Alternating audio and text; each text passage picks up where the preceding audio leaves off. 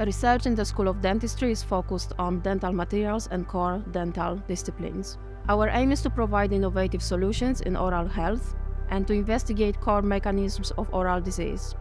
As a team, we investigate possible applications of biomaterials in periimplantitis or as implant coatings. We explore the use of uh, bioactive glass as a bone substitute and we look into improving endodontic instruments.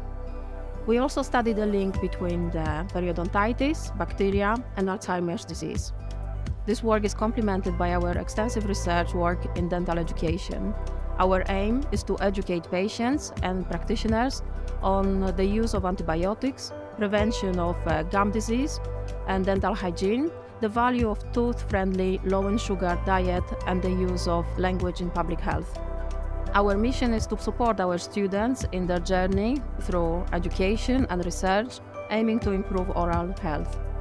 Our research will have impact on oral health by providing innovative solutions and expanding our knowledge.